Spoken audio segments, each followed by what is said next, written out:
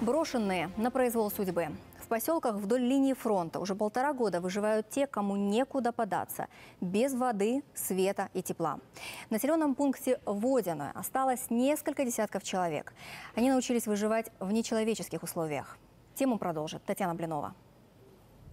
Поселок Водиное. Тут нет ни единого уцелевшего здания. Улица Степная длиной в километр. На ней 26 домов. Все брошенные, кроме одного. Супругам Смирека некуда ехать. Живут Наталья с Романом одиноко.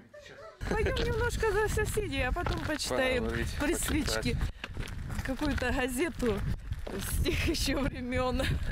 В Водином осталось 80 мирных жителей. Люди брошены на произвол судьбы. Уже полтора года живут без воды и света. Света нет у нас уже с 14 года, э, с 17 июля. Так точно же нет у нас воды, ну и всего остального. Ни магазинов, ни больницы здесь нету, ну ничего. Наталья с мужем живут на окраине поселка, ближе всего к зоне боевых действий. От обстрелов прятались в погребе. Вторая дверь. Там мы опускались.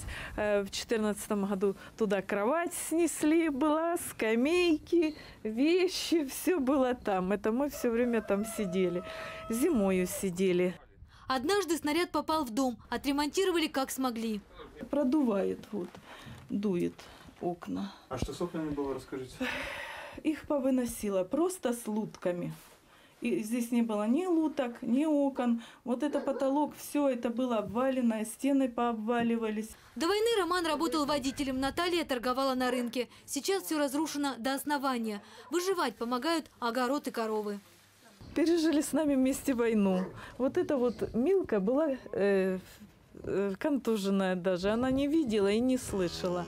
Она не, не знала, где двери. Думали, что не выживет. Ну ничего, выжила.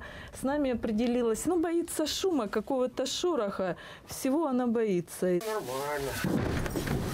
Она и в то время нас кормила, и сейчас, конечно. И как так под обстрелами-то живется? Привыкли уже. Обстрелами.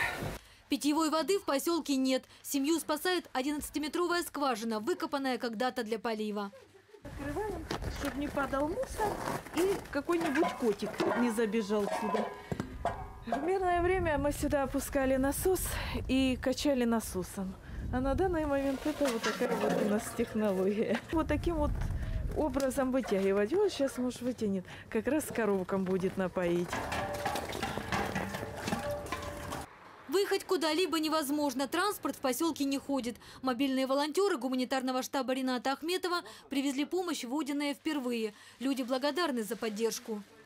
Огромное вам спасибо, конечно. Спасибо ему, конечно, что он помогает нам. Все есть. И вермишель есть, и крупа есть, масло подсолнечное. Дают все нормально. Консервы. Все нормально, спасибо. Наталья и Роман говорят, живут одним днем, о плохом стараются не думать и очень ждут мира. Ну, конечно, ждем быстрее, чтобы закончилось это все. Татьяна Блинова, Ростислав Сысоев, Александр Шмырев. События. Канал Украина.